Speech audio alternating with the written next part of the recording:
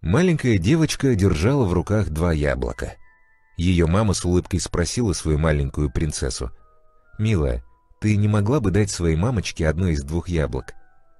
Девочка в течение нескольких секунд смотрела на маму, а затем внезапно надкусила одно яблоко, а затем быстро другое.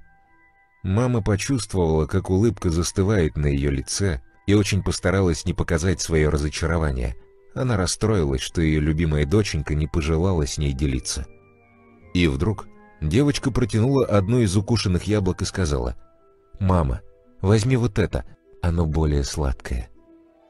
Независимо от того, насколько ты взрослый, опытный и осведомленный человек, никогда не спеши судить других.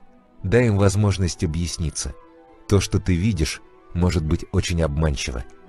Часто видя только общую картину, мы заблуждаемся в истинных мотивах действий другого человека –